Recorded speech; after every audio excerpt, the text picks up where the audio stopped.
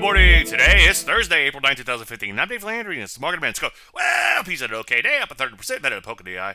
I suppose not too far from all-time highs in here. Unfortunately, though, so far they remain stuck in this silly sideways range. Take a look at NASDAQ. Not a bad day there. Up uh, a little bit more than three quarters of a percent. Not too far from 15-year highs there. So, so far, so good. It's too stuck in a bit of a range, though. Ideally, I like to see new highs sooner rather than later. Rusty's been stalling out a little bit in here, but it came back nicely lately. In fact, it's within spitting distance of all-time highs. Uh, sector actually looking pretty good. A lot of areas woke back up yesterday. Drugs, biotech, retail, all doing pretty good in here. Remaining in longer term trends and uh, doing pretty good yesterday.